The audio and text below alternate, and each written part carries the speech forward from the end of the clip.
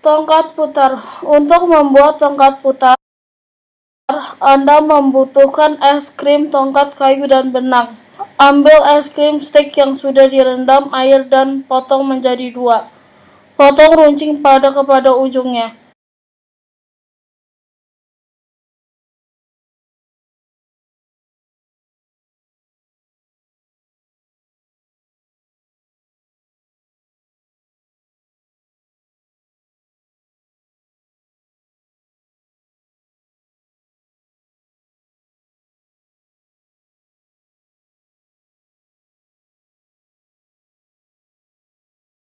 Buatlah dua ikatan benang dengan panjang 50 cm.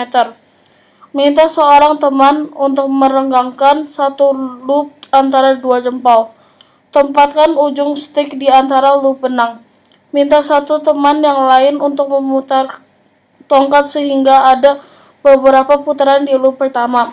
Kemudian tempatkan loop kedua di ujung tongkat dan biarkan. Loop kedua secara otomatis akan berputar sendiri.